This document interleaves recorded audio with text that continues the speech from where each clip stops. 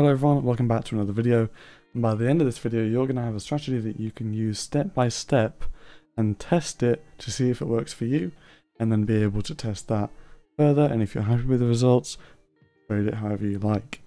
Um, if you're new here, take one second to go and hit that subscribe button. If you found any value in any, of the videos that we've created on the channel, make sure to go and hit that join button as well and let me know what current strategy you're using and why you're kind of looking for a new strategy in the first place. So the question of the day is what is the previous strategy that you used and then what is the reason why you're now looking for a new strategy and why you clicked onto this video. Let me know in the comments down below and I'll be happy to get back to you. Before we get into all the details around the strategy and all that kind of thing, just remember that this is only a strategy. Okay, this is not going to determine if you are a successful trader or not. Follow the video, write notes, all that kind of thing. But after this, you know, you need to test it. You need to work on your psychology, risk management, mindset, all these kind of things. That is actually where the results are going to come from, not the actual strategy itself. I wanted to say that just before we kind of get into all the details because I know that there are a lot of traders that are skipping mindset and all that kind of thing and they're only looking for strategies. Indicators. Okay, we only use two indicators. Um, you can see them both on the screen, hopefully. It might be a little bit dark, um, but I will tell you all of the details that you're going to need to follow along. The first one is the one where you've got the lines going uh, horizontal, the white, grey and red lines. These are pointing at 0, 0 levels, 20 levels, 80 levels, and 50 levels. Okay? The white one is the 0, 0, the grey is the 20 and the 80, and then the, the 50 is the red one. The reason why we have these set up like they are, for simplicity when we kind of get into the details later, but um, for now, I'll tell you the other thing and then we can move on. The next indicator is the days of the week. Um, so you can see them hopefully with the dark blue lines. If you can't see them, then all it is is showing you the days of the week. Pretty simple, right? Um, it's just so that I can see where price is in correlation to every single day. And again, we'll get onto the reason later why I have these indicators like they are. In terms of the basics of the strategy, what is like the overview of this strategy? It's a reversal strategy. We are using the days of the week combined with these levels to find reversal points. We expect to see the reversals happen on Tuesday, Thursday or Friday. So in terms of little blocks, we expect to see one on Tuesday. If we don't see one on Tuesday, then it's either going to be Thursday or Friday. I combine Thursday and Friday together. If I get a trade on Thursday, I won't take a trade on Friday. Two trades max per week. So either one on Tuesday and one on Thursday or Friday. Um, you can't take one on Thursday and Friday. And just as like a little side note to that, we'll get into the details later on, but the basics are that you're only taking two trade ideas per week. We're going to be scaling into these positions and scaling out of them.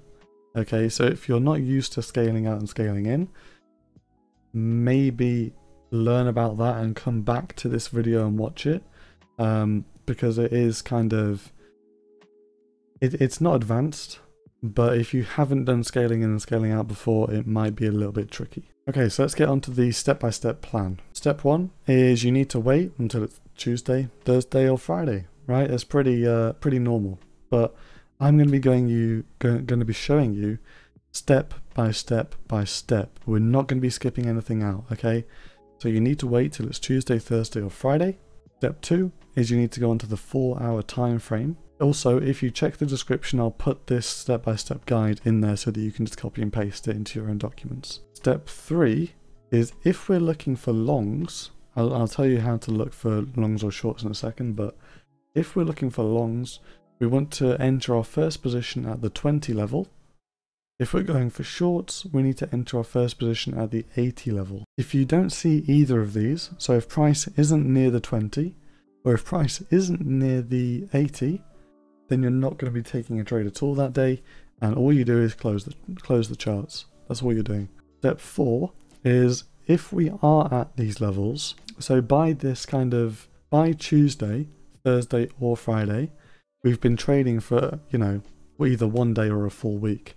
Um, if we're already at that level, by that, you know, reversal day um, timing, then don't trade. Okay, if we're already at that level, then you're not going to be looking for a trade, and you just close the close the uh, the charts down. Okay. Step five is if we are at one of those levels, then you open your first trade. Step six is to put your stop loss at the relevant 50 level. So if we are going long, so let's say price came down here, you can actually see a previous trade. Um, let's say price came down. Actually, let me zoom in so that you can see this a little bit better. So price comes down to the 20 level, which is here. And we enter our first trade. Our stop loss is going here, okay? So, you know, it. I'll get onto the details later, but um, yeah, you enter your first trade there, you put your stop loss down here. Very, very, very, very simple, okay? If you're entering a short trade, you're entering here on the 20, or the 80, sorry, and your stop loss is going at the relevant 50 level. Very, very simple, okay? Step 7 is your TP is 100 pips, okay? Every single trade that you're entering, your trade is 100 pips, or your TP is 100 pips. If we touch the 0, 0 level, you're then entering another trade with the same parameters as your previous trade, okay? So your stop loss is 50 pips. Well, it would be 50 pips, but um, it's the closest kind of 50 area. But going from a 0, 0 level to a 50 level, 50 pips, um, and then your TP is 100 pips, which basically goes to the next 0, 0 level. Step 9 is when price or if price touches the next grey level, so the 20 or the 80, then you're entering your next trade. So on this long example, we're now in one trade here, we're now in one trade here, and we're now in one trade here. Does that make sense? If this doesn't make sense, then put it in the comments below and I'll get back to you. You should be entering one trade here, one trade here, one trade here, with a stop loss of here, and every single trade has a stop uh, a TP of 100 pips.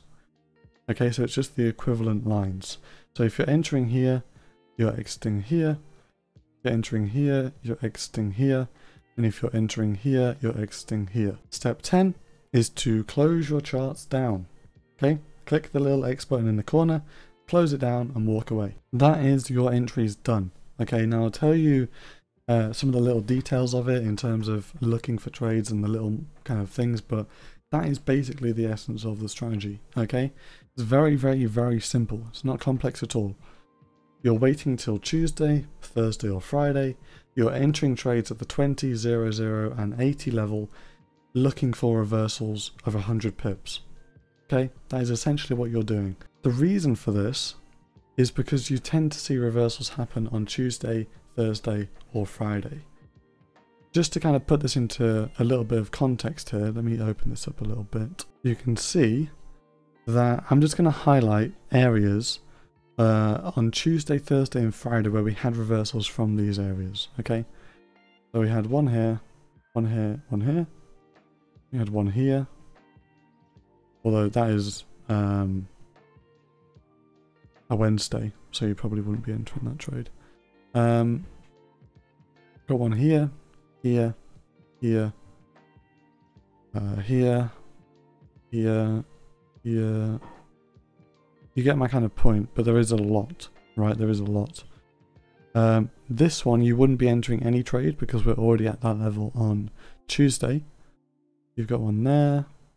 You've got one there. There. There. You get my point, right? There's a lot of reversals to be taken. Um, and you can take a lot of trades with this strategy. Now, that is also a downside, right? If you're not controlled with your risk, and you're not controlled with um, your trade management and all these kind of things, you can enter a lot of trades. So make sure to test it, okay? And you might just want to enter at the 0, 0 levels. You might just want to enter at the 20 and 80.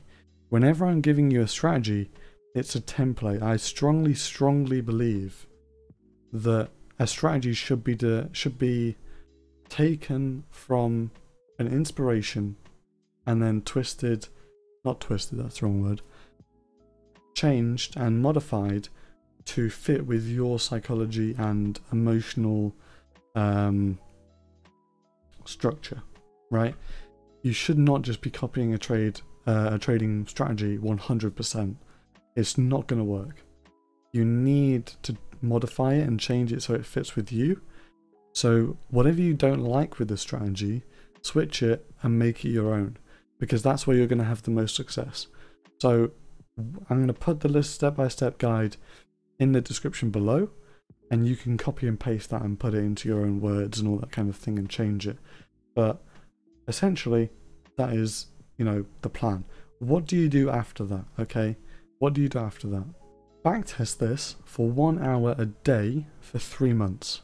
Okay, one hour a day, three months, backtesting solid. You should have between 600 to 1000 trades backtested and you would understand understand your strategy massively. You would know what the market's going to do on a single day, uh, what it should look like, what's the average drawdown, how long should the trade take, what happens, like a Tuesday trade versus a Thursday trade, how do they compare, what do they look like, all these kind of little nuances that you're going to find out if you put that time into backtesting. Let me know the results that you get in the comments below.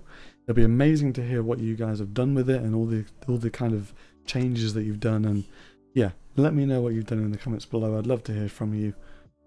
If you found any kind of value in this video, make sure to go and hit that join button and remember traders, trade happy.